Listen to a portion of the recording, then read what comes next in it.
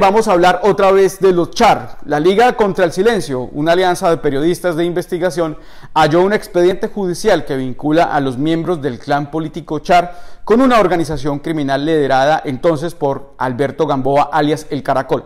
Las actividades ilícitas tendrían relación con el tráfico ilegal de marihuana y cocaína en Barranquilla.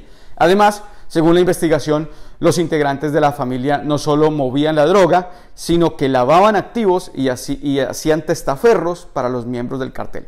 Los documentos en los que aparecen estas revelaciones pertenecen a un expediente judicial que abrió el Cuerpo Técnico de Investigación contra alias El Caracol, un temido narcotraficante que fue extraditado en el año 2000 a Estados Unidos.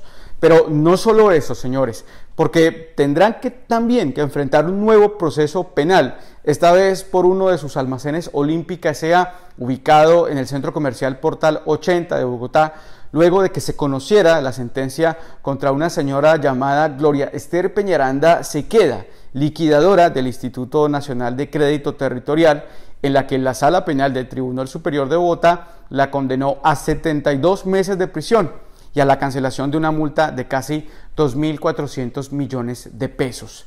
Esta sentencia corresponde al delito de peculado por apropiación a favor de terceros, a favor de los char, en los que el almacén olímpica habría obtenido una exorbitante ganancia al haber comprado hace 20 años un terreno eh, en valores muy inferiores al que debió cancelarse en su momento.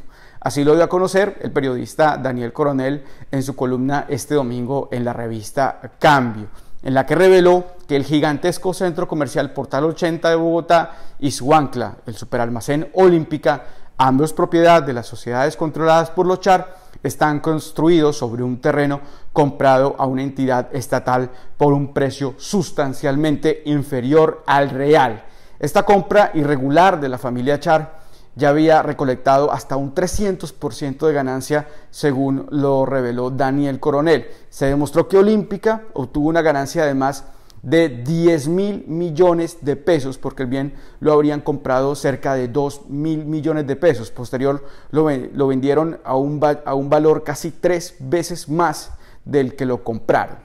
Así que de manera consecuente el Tribunal Superior de Bogotá compulsó copias para que la unidad de extinción de dominio de la Fiscalía determine si es legal o injustificado el enriquecimiento por parte de Olímpica SA, de un señor que es candidato presidencial, que nunca va a los debates, que siempre da entrevistas en gafas y en una cachucha que le debe oler a cachupe Increíble. Un cobarde de primera que acabó de decir que su primer acto como presidente sería pedir la extradición de Aida Merlano. Recordarle al señor que este gobierno se la pidió, pero al señor Guaidó.